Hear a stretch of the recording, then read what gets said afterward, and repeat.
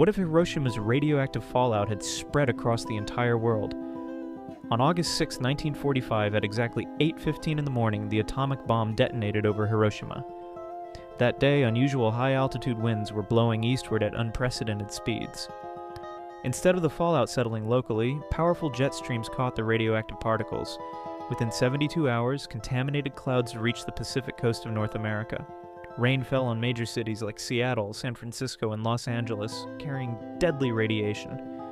Water supplies became poisoned, crops withered in contaminated soil. Millions began showing symptoms of radiation sickness simultaneously. Hospitals overflowed as entire populations faced mass poisoning. Food chains collapsed when livestock died, and farmland became unusable. Governments declared martial law, but chaos spread faster than any response.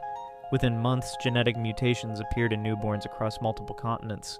The nuclear age would have ended before it truly began. One bomb's fallout could have crippled human civilization permanently,